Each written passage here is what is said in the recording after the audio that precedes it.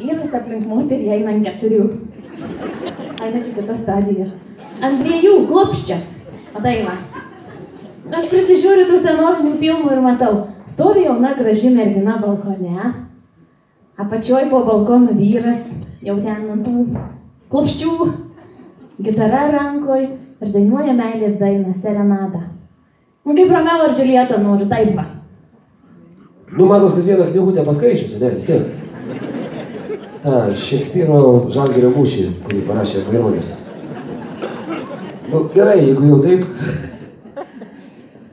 Jeigu nori romantikos, tam, kad gautum romantiką, reikia iš pradžių turėti fantazijos. Juk fantaziją. Čia. Na, aišku, tokia fantazija toks bus ir, žodžiu. Va, čia tavo balkonas, matai, lipk. Koks Romeo toks balkonas? Nu, gerai. Tai aukštai. Tu žinai, tu ir ant to balkono metro 54 atrodai. Bet atrodo pasikėlus ar normaliai? Taip normaliai pasikėlus viską. Tai palauk, čia man reikia dar. Aha. Ai, jo. Nu čia gitara, nu, kaip paimti tokią gitarą, iš karto supranti, kad čia gulyberio kelionės, ne? Tu žiūrėk, imk šitą skepetėlę, pasities, kad neišpurkytum grindų. Ir klauk ant dešiniaus kelieniaus. Aš negaliu ant dešinės, ten penkios operacijos padarytos. Man tai gerai, kai skauda labiau myli. Ant dešiniaus vis tiek. Viešpatie Dieve, mano amžinu, palauk tu. Aukšta ūgis, klaupai, žiūrimas.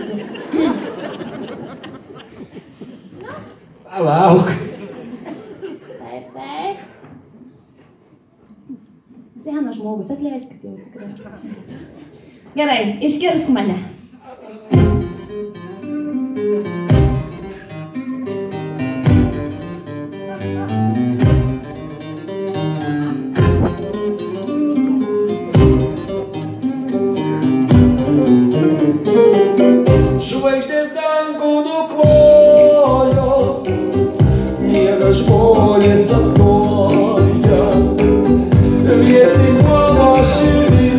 neler geçti Yüreğimizden